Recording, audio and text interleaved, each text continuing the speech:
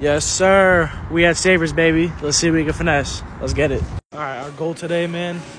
I want three pairs of shoes. If I don't buy three pairs of shoes, I feel like I didn't do nothing. So let's see if we can do it, man. All right, man. We found the shoes. It's not looking too good, but we're still gonna look around. Yes, sir. Damn, bro. What happened to these things? it looks like old bread. okay, they got the New Balances. These ain't even that bad. How much they want for these? Well, there's no price tag on them.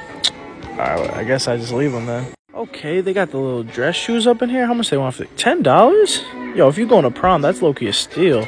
Alright, another pair of New Balances? Yo, these are not even bad. I'm actually gonna grab these if these are a steal. Five dollars? Oh yeah, we're grabbing these for sure. Yes, sir. Okay, so we didn't find anything after the New Balances, so I'm just gonna grab those and I'm out of here, man. So I, I, I didn't reach my goal, but but they got finesse.